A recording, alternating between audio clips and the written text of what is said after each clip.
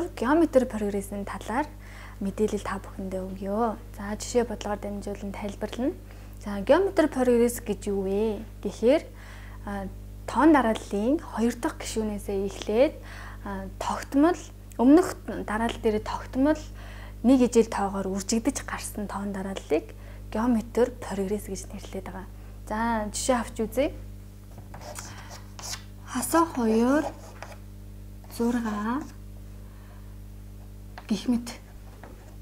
За. Энэ дарааллын хувьд авч үзье.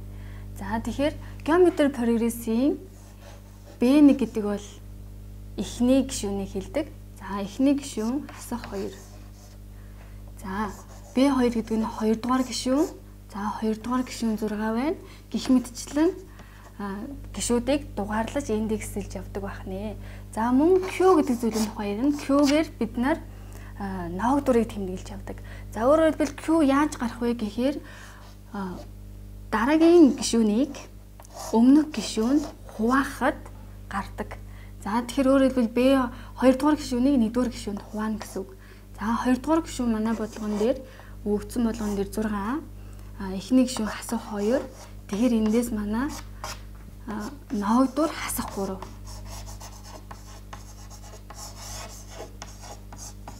За энэ бол ноогдуур байх нь.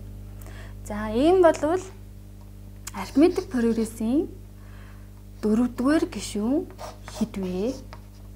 Арифметик прогрессийн 6 дугаар гишүүн нь хэд вэ? За үүнийг бүгдээрээ тооцоолж чадах уу гэж асуусан байна.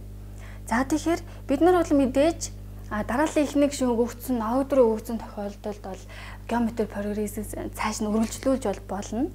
За гэхдээ тооцоолын хэлбэр байх үүднээс ерөнхий гишүүний томьёог мэддэг байх шаардлагатай тий. За ерөнхий гишүүний томьёо бол а за эхний гишүүн бол дараалал эхний гишүүн B1 байна. За хоёрдугаар гишүүн яаж гарах вэ? За тэгэхээр хоёрдугаар гишүүн болвол өмнөх гишүүн дээр тогтмол нэг тоогоор үржигдэж гардаг тийм үү. За тэгэхээр B1 гэсэн өмнөх гишүүнийг ямар нэгэн Q тоогоор үржүүлээд B2 буюу хоёр дахь гишүүн гарсан гэсэн үг. За тэгвэл B3-ыг харъя. B3 буюу 3 дахь гишүүн яаж гарах вэ гэхээр өмнөх B2 гишүүнийг ямар нэгэн Q тоогоор үржүүлэхэд 3 дахь гишүүн гарна. Тэгэхдээ B2-ыг бид нар бодсон. B2 буюу 2 дугаар гишүүнийг бид нар B1-ийг үржигэн Q гэж олсон учраас үүнийгээ энэ үнд орлуулъя.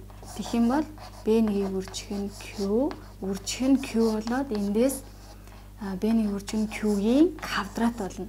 За гих мэтчлэнгээр 4 5 дугаар гишүүнийг олно.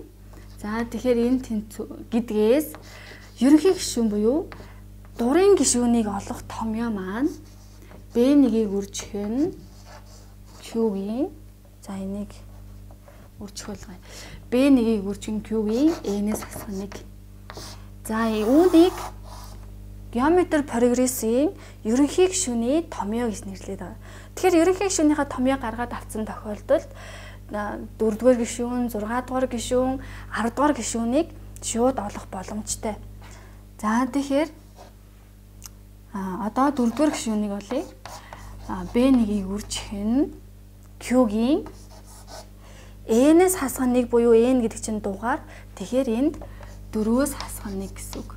Тэгэхээр энд B1-ийг үржих нь Q-гийн 3 зэрэгт. Энэ тэнцүү за B1 гэдэг бол дарааллын эхний гишүүн хасах 2. За Q-г бид нэр ноогдор хасах 3 гэж олсон. Хасах 3-ын куб зэрэгт. Дэвшүүлнэ. За эндээс хасах 2-ыг үржих нь хасах 3-ын куб зэрэг хасах 27. За 27-г 2-оор үржүүлэх юм бол 54 нэмэх 54. Өөрөөр хэлбэл дараалын 4-р гишүүн нэмэх 54 гэж гарч байна. За тэгэхээр 6-р гишүүнийг одоо хялбар олох боломжтой боллоо. За тэгэхээр энэ дээр 6-р гишүүнийг бичиж B1-ийг үржих нь Q-гийн 5 зэрэгт гэсэн үг. Ерөнхий гишүүний томьёонд 5-аас энд 6-г 6 дахь гишүүнийг олох гэж байгаа учраас 6-г орлуулад 6-аас хоног буюу Q-гийн 5 зэрэгт гэсэн үг. За эхний гишүүн дараалал эхний гишүүн хасах 2 Өөрчлөх нь Q маань хасах 3-ийн 5 зэрэгт. За тэгэхээр та бүхэн хасах 3-ыг 5 зэрэгт дэвшүүлээд за гарсан хариуг 2-оор үржүүлснээр манай дарааллын геометри прогрессийн 6 дугаар гишүүн гарна гэсэн үг. За тэгэхээр бүгдээрээ 2 дахь бодлого руу оръё. За геометри прогрессийн маань 2 дугаар бодлого. За геометри прогрессийн эхний гишүүн буюу B1 2 5 дугаар гишүүн нь 32 гэж өгсөн бол 2 дугаар гишүүн 3 дугаар гишүүн 4 дугаар гишүүн хэд вэ гэж асуусан байна. За тэгэхээр дарааллаа бичвэл эхний гишүүн нь 2 За 2 дугаар гишүүнийг бид нэр олох хэрэгтэй. 3 дугаар гишүүнийг бид нэр олно. 4 дугаар гишүүнийг олно. 5 дугаар гишүүн нь 32 гэж өгчээ.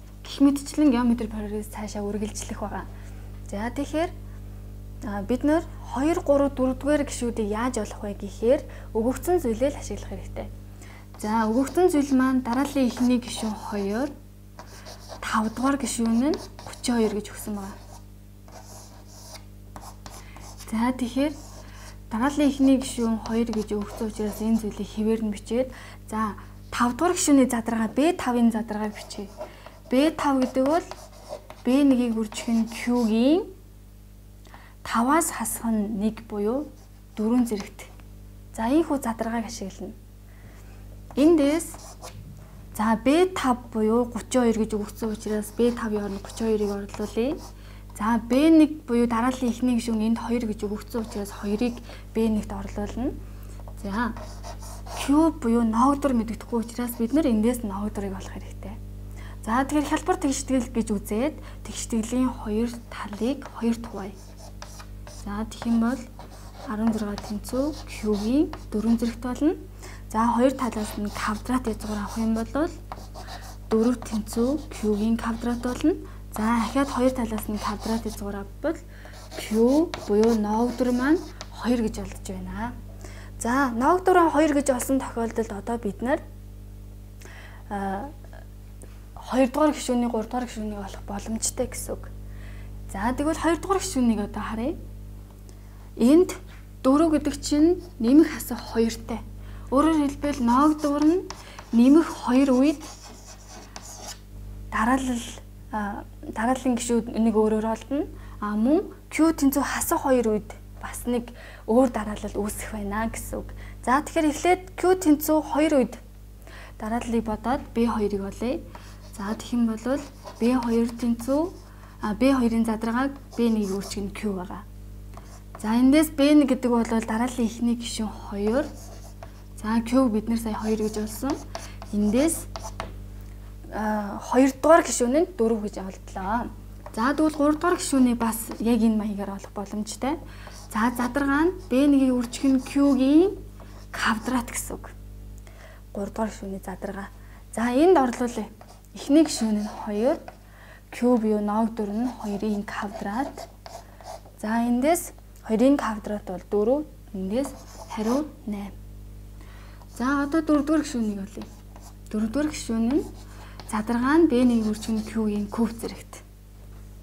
За эндээс эхний гишүүн бол 2. За үржих нь ноог дүр нь 2, 2-ын куб зэрэгтэй. За 2-ын куб зэрэг гэдэг бол 8. 8-ыг 2-оор үржүүлэхээр 16. За тэгэхээр Q нь ноог дүр нь 2 байх тохиолдолд геометри прогресс ямар хуу дараалал вэ гэхээр 2 За 2 дугаар гишүүн нь 4 3 дугаар гишүүний 8 16 5 дугаар гишүүний 32 гих мэтчлэн геометр прогресс үүсэж байна. За гэхдээ одоо бид нэр язгуураас нэмэх асах 2 гарсан учраас одоо Q тэнцүү 2 тохиолдолд бас нэгэн геометр прогресс үүсгэнэ гэсэн үг. За тэгэхээр энэ дээр B2-ыг болгох юм бол B1-ийг үржих нь Q гэсэн үг тийм үү задаргаа нь. Тэгэхээр эхний гишүүн нь 2, энд хасах 2-ыг орлуулах юм бол хасах 2 байгаа. Тэгэхээр энд хасах 4-тэй. Хасах 4. За тэгэхээр B3 буюу 3 дугаар гишүүн нь энэ томьёонд орлуулна гэсэн үг. Тэгэхээр B1 буюу эхний гишүүн нь 2 байгаа. За Q нь болохоор Q-гийн квадрат буюу хас 2-ын квадрат 4, эндээс 8. За одоо дөрөвдүгээр гишүүнийг олъё. Дөрөвдүгээр гишүүнийг мөн адилын томьёонд орлуулна. Эхний гишүүн бол 2. За Q нь болохоор хасах 2-ын куб зэрэгт. Хасах 2-ын куб зэрэгт. За тэгэхээр хасах 2-ын куб зэрэг гэдэг бол хасах 8. Хасах 8-ыг 2-оор үржүүлэхээр хасах 16. За тэгэхээр манай дараалал маань 2 дахь дараалал Q нь хасах 2 үед за дарааллын эхний гишүүн нь 2, 2 дугаар гишүүн нь хасах 4, 3 дугаар гишүүн нь 8, 4 дугаар гишүүн нь хасах 16, 5 дугаар гишүүн нь 32 гих мэтчлэн бас нэгэн өөр дараалал геометр прогресс үүсэж байна. За анхаарлаа хандуулсанд баярлалаа.